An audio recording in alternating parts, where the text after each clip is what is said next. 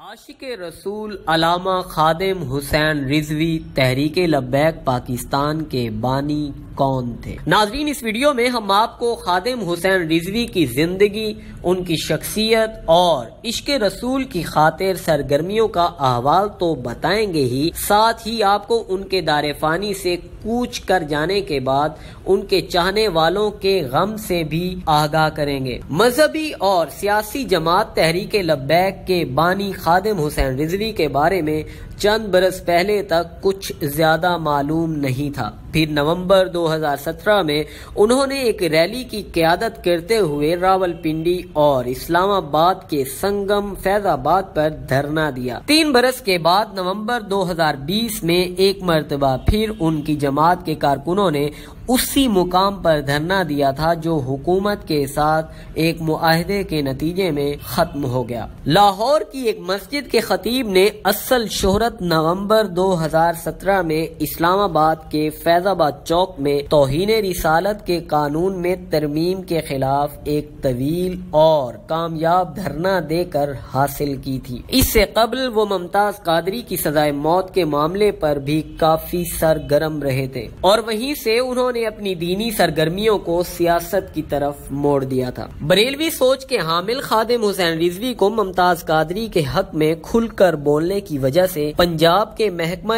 औकाफ से फारिग कर दिया गया था, जिसके बाद उन्होंने सितंबर 2017 में तहरीक की बुनियाद रखी और उसी बरस सितंबर में एन एक सौ बीस लाहौर में होने वाले जिमनी इंतखाब में सात हज़ार वोट हासिल करके सबको हैरत में डाल दिया था। खादिम हुसैन रिजवी को सन 2017 के एहतजाजी धरने में सुन्नी तहरीक की भी हमायत हासिल रही थी। सबक वजी अजम शाहिद खाकान अब्बासी की हुकूमत में फैजाबाद धरने से मुतालिक तासुर था कि इस दौरान एहतजाज करने वालों को किसी न किसी सूरत पाकिस्तानी फौज की हिमायत हासिल थी।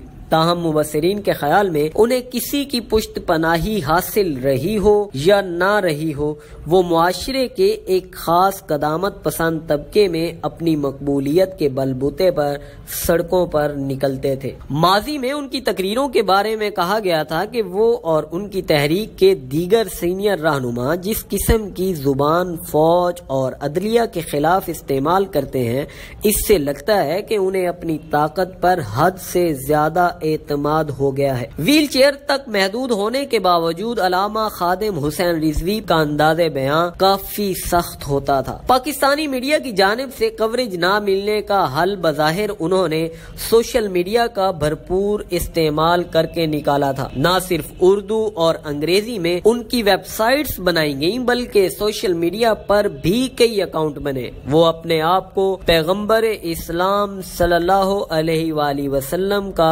चौकीदार कहकर बुलाते थे। खादिम हुसैन रिजवी कहाँ से थे?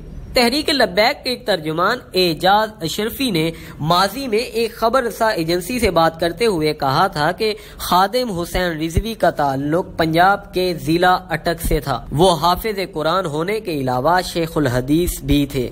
और फारसी ज़ुबान पर भी अबूर रखते थे। उनके दो बेटे भी मुख्तलिफ़ एहतजाज में शरीक रहे हैं। खादिम हुसैन रिजवी ट्रैफ़िक के एक हादसे में माजूर हो गए थे और सहारे के बगैर नहीं चल सकते थे। वो 22 जून 1966 को निका तूत जिला अटक में हाजी लाल खान के हाँ पैदा हुए थे। जेलम और दीना के मदारस से हिफ्ज और तजवीद की तालीम हासिल की, जिसके बाद लाहौर में जामिया निजामिया रिजविया से दरस निज़ामी की तकमील की। इन पर मुख्तलिफ़ नवीयत के कई मुकदमात भी दर्ज थे। एजाज अशरफी ने बताया कि उन मुकदमात की तादाद कितनी है, उन्हें ये याद नहीं है। जनवरी 2017 में भी तोहिन मज़हब के कानून के हक में उन्होंने लाहौर में एक रैली निकाली थी, जिस पर पुलिस ने लाठी चार्ज किया था। उन्हें गिरफ़्तार करके जेल भेज दिया गया था। और उन्हें आज भी पंजाब हुकूमत ने फोर्थ शेड्यूल में रखा हुआ था। जिसका मतलब है कि उन्हें अपनी नकलो हरकत के बारे में पुलिस को आगाह करना होता था। खादिम हुसैन रिजवी को अपनी सरगर्मियों के लिए वसाइल कहाँ से मिलते थे, ये वाजे नहीं। लेकिन इस्लामाबाद धरने के दौरान उन्होंने ऐलान किया था कि नामालूम अफराद लाखों रुपए उनको देकर जाते हैं। माजी में एहतजाज के दौरान ऐसी इतलात भी थी कि व्हाट्सएप पर एक फ़ोन नंबर के साथ एक पैगाम गर्दिश कर रहा था जिसमें कहा गया था कि अगर एहतजाज के दौरान किसी कारकुन को कोई सहूलत, मसलन मोबाइल बैलेंस, पैसे या खाना दरकार हो तो उस नंबर पर पैगाम भेजे। इससे बज़ाहिर लगता है कि अंदरून और बैरून मुल्क दोनों जानब से उन्हें आशिकान रसूल की तरफ़ से ही फंड मिलते थे। उनके पैरोकारों और हामियों ने उनकी मौत को एक अजीम नुकसान करार दिया और सोशल मीडिया पर उनकी तकारीर की वीडियो क्लिप्स मुसलसल शेयर किए जा रहे हैं। उनमें से एक में खादिम हुसैन रिजवी को कहते सुना जा सकता है कि एक दिन खबर आएगी कि खादिम मर गया। आपने कहना है, बड़ा अच्छा आदमी था या कहना है, बड़ा बुरा आदमी था। इंसान या अच्छा होता है या बुरा होता है। दोनों बातें एक साथ नहीं हो सकती। आप कहेंगे, आदमी तो ठीक था लेकिन सख्त था। आज मेरे साथ खड़े हो जाएँ। बाद में हम जैसे भी नहीं मिलने। उनके हामियों में से एक खातून का कहना था कि अपने असूली मौकफ की वजह से एक अजीम मुकर और मजहबी रहनुमा खादिम हुसैन रिजवी खत्म नहीं होंगे। ऐसा लगता है कि उन्होंने पाकिस्तान के समाजी, मजहबी और सियासी मैदानों को फतह कर लिया है।